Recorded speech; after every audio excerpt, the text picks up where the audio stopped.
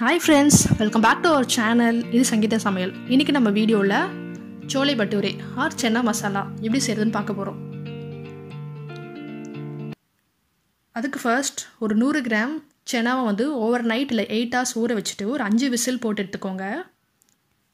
பாருங்கள் நல்லா வெந்துருச்சு. இப்போ அரை ஸ்பூன் சீரகம் ரெண்டு ஏலக்காய் கொஞ்சம் பட்டை கொஞ்சம் லவங்கம் ஒரு கல்பாசி ஒரு இலை எடுத்துக்கோங்க பிரிஞ்சி இலை. இப்போ பேனில் தேவையான அளவு எண்ணெய் ஊற்றிட்டு எண்ணெய் காஞ்சதும் இந்த ஸ்பைசஸ் எல்லாத்தையும் ஆட் பண்ணிக்கலாம்.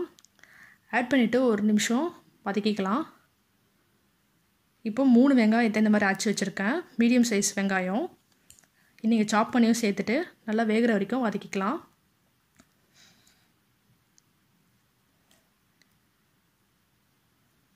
இதில் கொஞ்சமாக உப்பு சேர்த்துக்கிறேன். அதனால் வந்து வெங்காயம் சீக்கிரமாக கொஞ்சம் வதங்கிடும். இப்போ ஒரே ஒரு பச்சை மிளகா சேர்த்துட்டு வதக்கிக்கிறேன். ஒரு ஸ்பூன் இஞ்சி பூண்டு விழுது சேர்த்துக்கோங்க.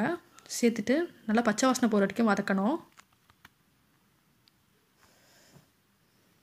இப்போ ரெண்டு தக்காளி அரைச்சி வச்சுருக்கேன். மீடியம் சைஸ் தக்காளி. அதையும் சேர்த்துட்டு நல்லா வதக்கிக்கோங்க. தக்காளியோட பச்சை வாசனை எல்லாமே போகிற வரைக்கும் நல்லா வந்து வேக வச்சுக்கோங்க. ஒரு மூணுலேருந்து நாலு நிமிஷம் வேக வச்சுட்டு கால் ஸ்பூன் மஞ்சள் தூள் அரை spoon Kashmiri red chilli powder இல்லை நார்மல் ரெட் சில்லி பவுடரும் சேர்த்துக்கோங்க. ஒரு ஸ்பூன் குழம்பு மிளகாய் தூள் சேர்த்துருக்கேன். அதாவது தனியாத்தூள் மிளகாய்த்தூள் அப்படின்னு நீங்கள் சேர்த்துக்கலாம்.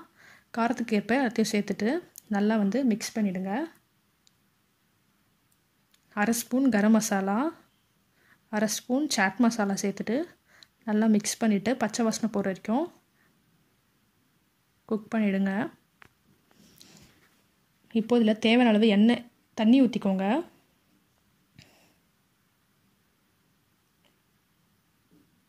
இப்போ தேவைப்பட்டால் உப்பு சேர்த்துக்கோங்க. சேர்த்துட்டு இன்னும் கொஞ்சம் தண்ணி ஊற்றிக்க போகிறேன் நான் இதுக்கு.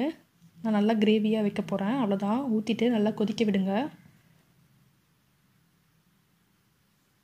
பாருங்கள் இப்போ கொதிச்சிச்சு இதில் வந்து வேக வச்ச சென்னாவை சேர்த்துக்கோங்க. தண்ணியோடு சேர்த்துக்கோங்க. ஸோ அதுக்கேற்ற மாதிரி தண்ணி ஊற்றிக்கோங்க சென்னாவை சேர்த்து நல்லா வந்து மேஷ் பண்ணி விட்டுக்கோங்க பாதி. அப்போ தான் நல்லா டேஸ்ட் இருக்கும் பாருங்கள் கொதிக்க ஆரம்பிச்சிச்சு.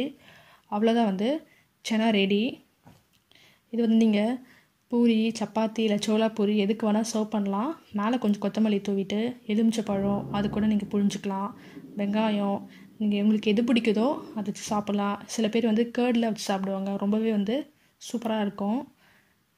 செமையான ஷைடிஷாக இருக்கும். இந்த வீடியோ உங்களுக்கு பிடிக்கும்னு நினைக்கிறேன். பிடிச்சா லைக் பண்ணுங்கள் ஷேர் பண்ணுங்கள் மறக்காமல் நம்ம சேனலை சப்ஸ்கிரைப் பண்ணுங்கள் பாய் பாய்